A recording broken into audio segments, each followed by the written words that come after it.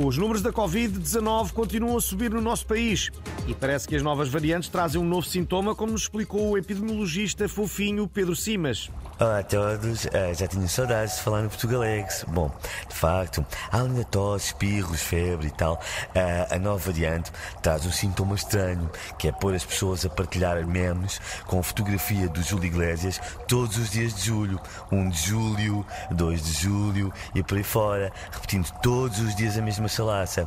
É mais incomodativo para quem os rodeia que a tosse e prevê-se que dure 31 dias, ou seja, até final de julho. De resto, eu continuo como antes, gosto de cozinhar, gosto de fazer surf. Agora.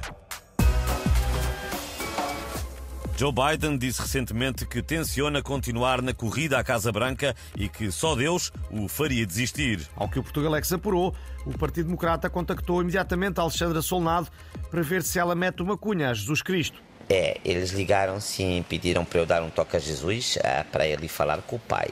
E Jesus me falou que Deus aceitou e que já pediu para Biden desistir. É, só que Biden não ouviu, pensou que era o barulho da TV, sacou? Deus falou muito alto, mas Biden continuou sem ouvir. Assim fica difícil, né? Pô. Ficamos então à espera que Deus escreva o seu pedido a Biden em letras bem grandes. Passamos agora à rubrica O Ouvinte Tem Sempre Razão, onde damos a conhecer as melhores ideias e sugestões enviadas para as nossas redes sociais. Hoje o destaque vai para o ouvinte Filipe Dias, de Faro, que respondeu à pergunta que lançámos um dia destes no fórum: o que fariam se ganhassem o jackpot do Euro Milhões? O Filipe disse assim: Bom, é mandava substituir a areia do Sahara por detergente em pó. Assim no verão, aqui na Europa, ficávamos com o carro lavado quantas vezes? É ou não é boa ideia? Hã? Um inconveniente.